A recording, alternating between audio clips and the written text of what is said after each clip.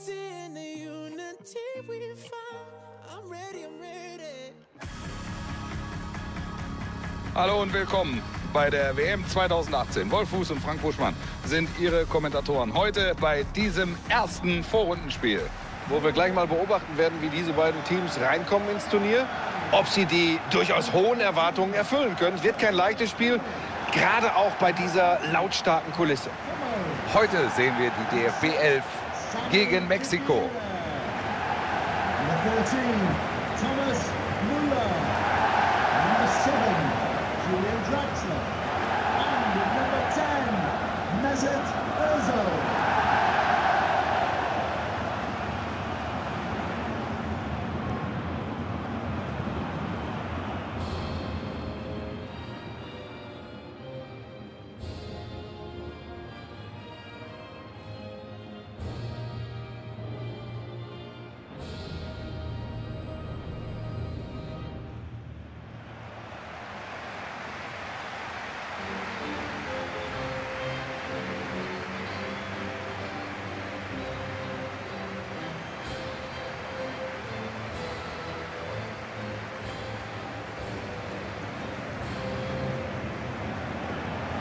Das Luschniki-Stadion hat schon einige Highlights erlebt, Buschi, ne? Die Scorpions sind hier mal aufgetreten. 1989 war das. Wind of Change.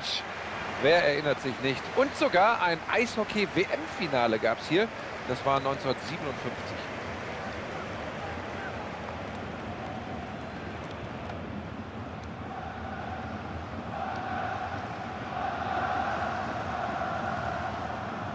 Das ist die heutige Aufstellung der deutschen Mannschaft.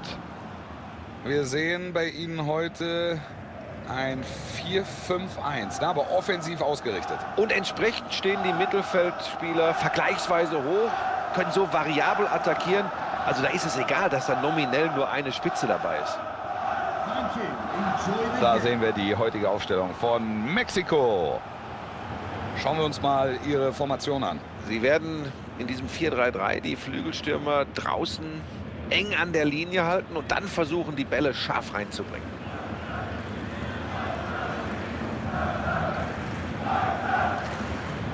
Wunder von Bern.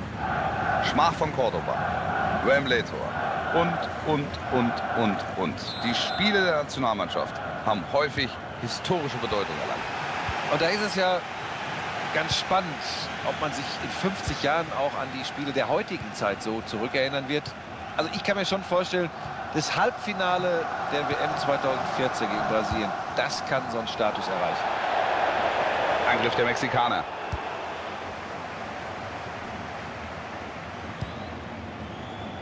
Da ärgern sie sich. Ballverlust.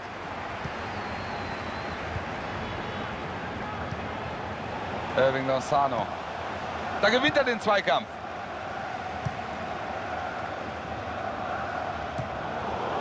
Wie sieht deine Analyse dieser Gruppe aus, Buschi? Wer wird sich hier durchsetzen? Ja, die Gastgeber sehe ich vorne in dieser Gruppe, aber das müssen sie dann heute auch gleich zeigen. Jetzt Chicharito. Das könnte die Chance werden. Da holt er den Ball zurück.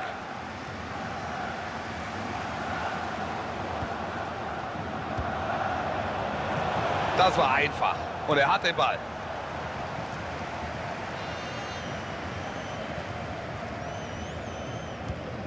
Klasse Zuspiel.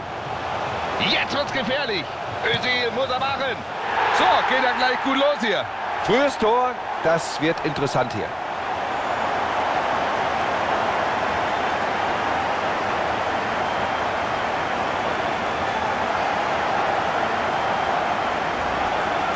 Und hier aus kurzer Entfernung ganz sichere Nummer für ihn. Ja, das war aber dann am Ende auch keine große Aufgabe mehr. Er bewegt sich gut und erarbeitet sich damit die Chance.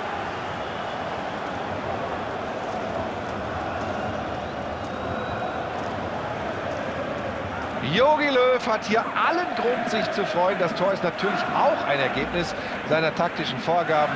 Er freut sich über diesen Führungstreffer.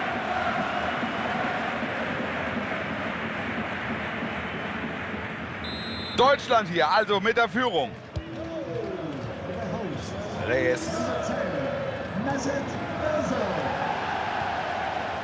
Jesus Molina. Mexiko kommt. Irving Lozano. Jetzt vielleicht.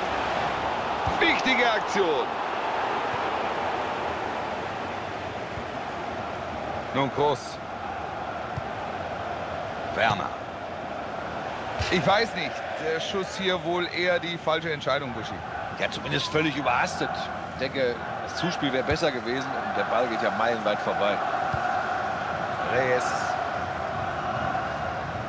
Und nun Kedira. Draxler. Jetzt die deutsche Mannschaft. Da kommt die Hereingabe. Ja, das sah gefährlich aus, aber der Ball ist erstmal weg. Den Eckstoß tritt Toni Groß. Özil. Özil! Ganz stark abgeblockt.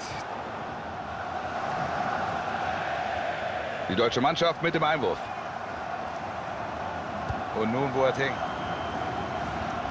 Hector. Draxler, super gemacht.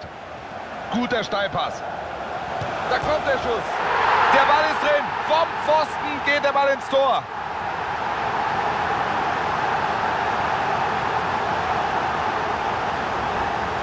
Buschi, eine Frage auf diese Zeitlupe. Absicht oder Glück? Von beiden etwas, Wolf. Auf jeden Fall kommt der Ball am Ende so präzise, dass es da nichts zu halten gibt.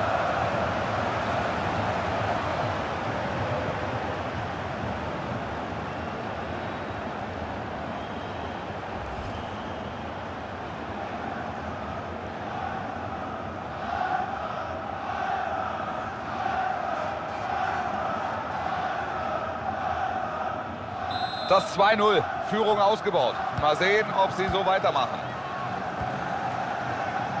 Moreno. Super dazwischen gegangen.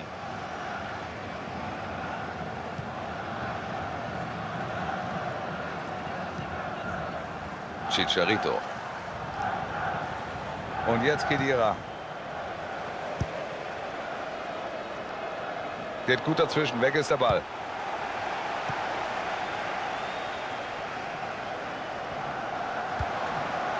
Jetzt könnte es gefährlich werden. Jetzt Carlos Vela. Und das ist der Ballverlust. Chicharito. Und die Gelegenheit. Ah, das ist natürlich schwach. Ganz klar war ein harmloser Ball und der Trainer ist stinksauer. Hector. Draxler. Die DFB 11 greift hier an. Draxler. Den hält er völlig ohne Probleme. Eckball, den wird Toni Groß reinbringen. Er zieht ab. Abstoß. Bei Özil klappt fast alles. Richtig gutes Spiel des Nationalspielers. Er hatte hier schon einige gute Szenen. Also mit dem haben sie wirklich richtig große Probleme.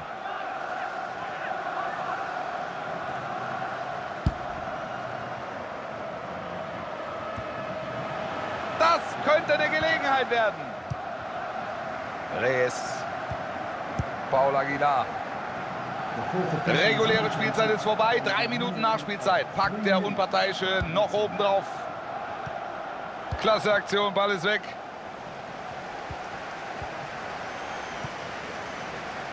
Özil. Mit dem Ball am Fuß Richtung gegnerisches Tor. Den hält Ochoa natürlich. So, Frank Buschmann, passiert hier noch was? Nein, Wolf Fuß, das kann ich mir kaum vorstellen. Doch schon eine deutliche Führung in diesem ersten WM-Vorrundenspiel. Nee, nee, nee, nee, nee. Die Geschichte ist entschieden.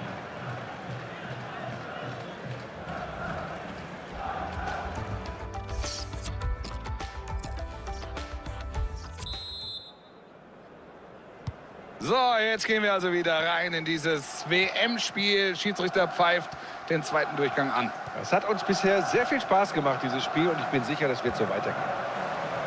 Das könnte gefährlich werden. Flanke auf Müller. Da ist das Tor. Tor für die deutsche Nationalmannschaft. Fast schon klar, wer es gemacht hat. Thomas Müller, einfach nur überragend.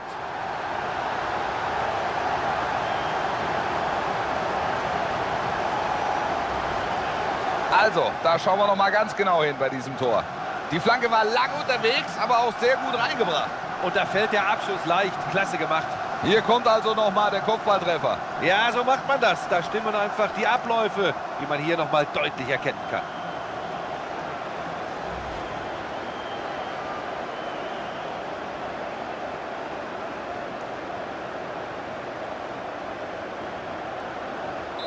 Und der Gegner strahlt nicht mehr allzu viel Gefahr aus. Ich denke, das Ding ist durch.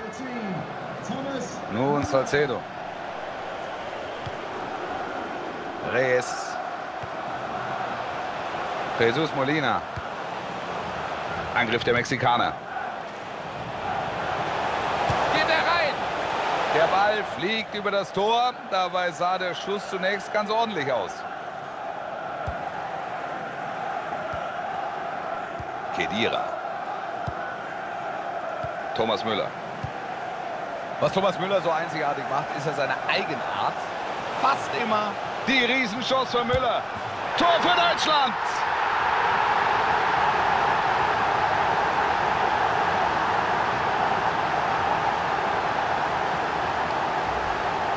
Seit seinem Treffer strotzt er nur so vor Selbstvertrauen und jetzt hat er den Doppelpack. Nochmal der Treffer, diesmal aus einer anderen Perspektive. Ganz entspannte Minen auch am Spielfeldrand. Die deutliche Führung. Er weiß, das müsste es in dieser Partie eigentlich sein.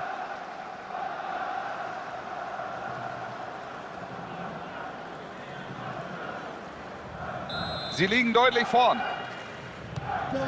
Seine. Pässe kommen heute richtig gut an. Moreno. Der Angriff sah gut aus, aber dann kommt doch noch ein Gegenspieler dazwischen. Super Einsatz, da kann er ihn stoppen.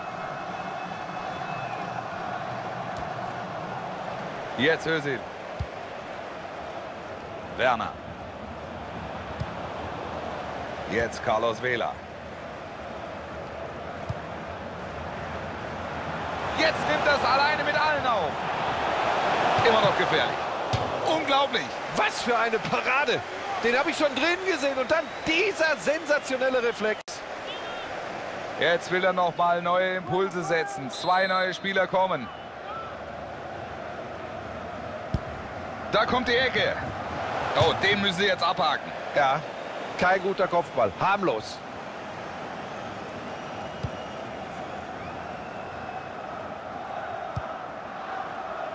Draxler. Paul Aguilar. Nun Chicharito. Fängt diesen Ball ab. Deutschland mit Drang nach vorne.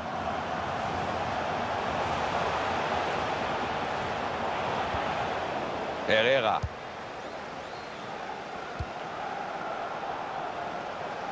Ja, das gibt Einwurf. Noch sind hier 20 Minuten zu absolvieren.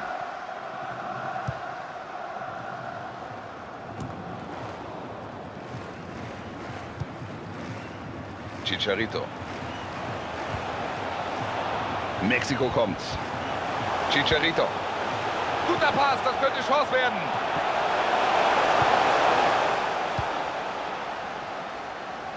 Draxler. Das deutsche Team jetzt mit Platz auf dem Flügel. Werner. Ball ist weg, aber geht da noch was? Die deutsche Mannschaft mit dem Einwurf. Wechsel bei Mexiko. Hector. Ballverlust. Abgefangen, gut gemacht. Da wäre jetzt viel Platz für einen Konter. Raúl Jiménez. Irving Lozano.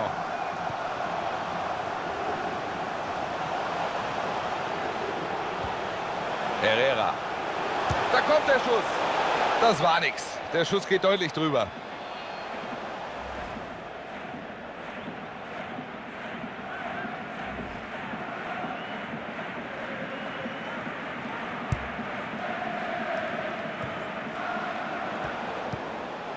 Jetzt könnte es gefährlich werden. Guardado.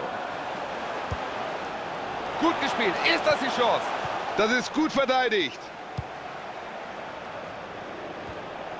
Özil. Werner. Da holt er den Ball zurück. Nur noch vier Minuten in der regulären Spielzeit. Jetzt müssen sie aufpassen. Toller Pass.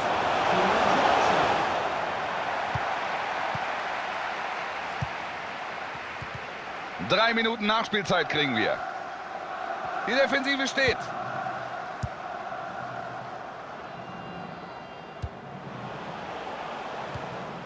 Guardado.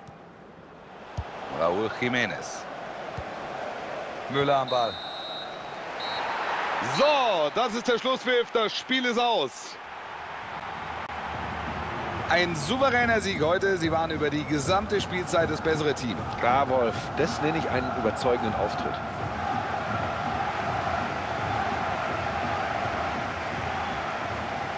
Was mich interessieren würde, wie hast du Thomas Müller heute gesehen? Ganz toll, also überragend. Hat mich total überzeugt und das nicht nur wegen der beiden Treffer.